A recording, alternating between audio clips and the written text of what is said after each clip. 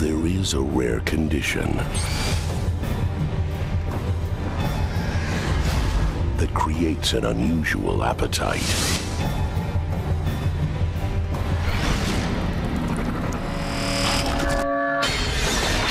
Now, her taste for blood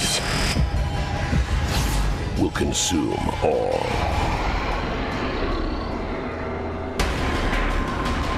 Jaime Winstone.